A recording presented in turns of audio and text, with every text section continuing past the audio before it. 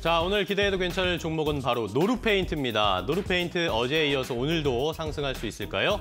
두 분의 전문가께서는 모두 오늘 상승할 수 있을 것이다 라는 이야기를 해주셨습니다. 자, 이 건설업황 그리고 수익성이 개선되는 상황이기 때문에 노루페인트의 상승 모멘텀이 되어줄 것이다 라는 의견 한 분 주셨고요. 다른 한 분은 이제 대선을 앞두고 있습니다. 대선 후보의 부동산 정책으로 수혜를 받을 수 있는 노루페인트 상승할 것이다 라는 의견 주셨습니다. 과연 정말 오늘도 올라갈지 노루페인트 자세하게 분석해 보도록 하겠습니다. 자, 오늘 기대해도 괜찮아는 두 분과 함께 하겠습니다. 레몬 리서치의 김민수 대표 그리고 한국투자증권 서초중앙 PB센터의 길건우 연구원 모셨습니다. 두 분 안녕하세요. 반갑습니다. 자, 오늘은 노루페인트를 함께 좀 확인해 볼 텐데요. 노루페인트 이제 건설 쪽에 다시 또 주목이 되는 건가요? 이게 한 번 쉬었다가 또 오고 한 번 쉬었다가 또 오고 이런, 이럽니다. 이번이 타이밍인가요? 어떻게 보십니까? 자, 길건우 연구원께서 먼저. 어, 뭐, 당연히 이제 대선이 남아 있어서 그쵸. 가장 큰 영향을 받을 수밖에 없다라고 보고 있고, 최근 들어서 이제 불확실성이 사실 굉장히 많잖아요. 그래서 새로운 테마가 또 필요한데, 그쵸. 네, 이제 대선 테마가 또 다시 꿈틀꿈틀 되지 않나라고 생각이 되고 있고, 네. 이제 노르페인트 같은 경우에는 대선 테마에서는 윤석열 대선 후보 관련주로 음. 들어가고 있다라고 보시면 되는데, 안에 이제 김건희 그 코비나 콘텐츠 대표 후원자로 알려져 있다고 하더라고요. 아. 네, 그리고 이제 최근 들어서 그 여론조사 결과가 나왔는데 윤석열 대선 후보가 한 45.3%, 그다음에 이재명 후보가 37% 정도 되면서 아이고. 예, 윤석열 관련주가 조금 더 부각이 되고 있다라고 보여지고 있고 다른 것보다도 이제 부동산 공약 같은 경우에는 양당 후보 모두가 공급량을 늘려야 된다라고 공통적으로 얘기를 하고 있거든요.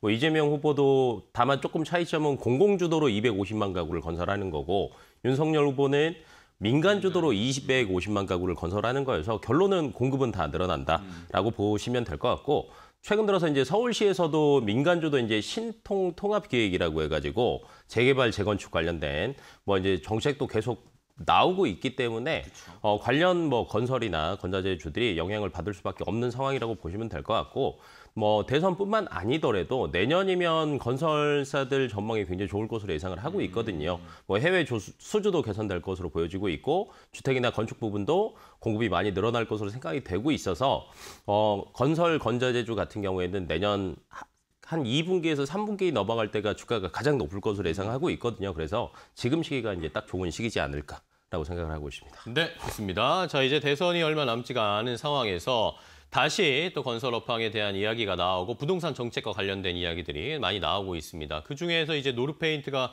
어, 어제 또 유독 눈에 띄는 상황이었는데 김미스 대표님은 어떻게 보세요?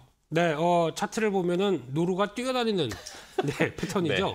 네. 네. 그런데 어, 모 대선 후보와 연관되어 있는지는 꿈에도 몰랐습니다. 그렇습니까? 네, 지금 아, 방금 그러니까요. 들었습니다. 저도요. 네.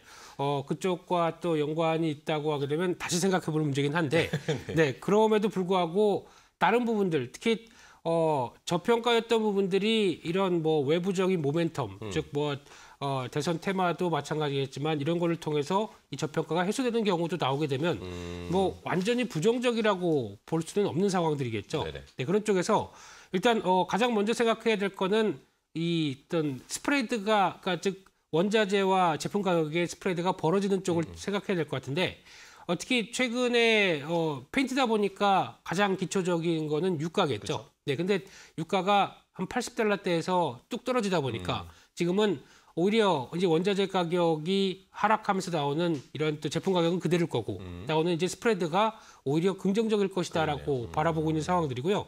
또 하나 두 번째는 앞서 어, 연구원님 얘기하셨던 이런 어떤 건설 업황이 좋아지면서 특히 어, 건설 수주는 계속 늘어나고 있습니다. 그러면 수주가 늘어나면서 나올 수 있는 변화들은 음. 내년도 역시나 어, 어떤 착공과 함께 나올 수 있는 변화 계속 기대를 할 수 있다고 봐야 될 것 같고요.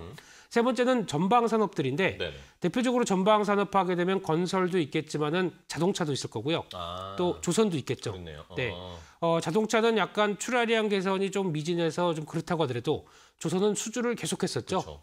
어, 배가 이만한데 뭐 페인트가 얼마나 필요하겠습니까? 수통, 수백 통이 필요하겠네. 수천 통? 수천 통 아닐까요? 네. 어, 그것도 한 번 바르지 않는다고 합니다. 아, 네. 어, 바르고 또, 말렸다가 바르고, 또더 바르고 바르고. 해서 검은색 계열은 그렇게 만든다고 하는 거 보니까 검은색을 한 번에 안 바른다고 하더라고요. 음. 그런가요? 네. 어. 어, 그런 상황 쪽에서 수요도 더 늘어난다라고 하게 되면 이 부분도 생각을 해야 될 것 같은데 노- 근데 노루 페인트를 보면서 가장 드는 생각은 실적이 가장 안정적입니다.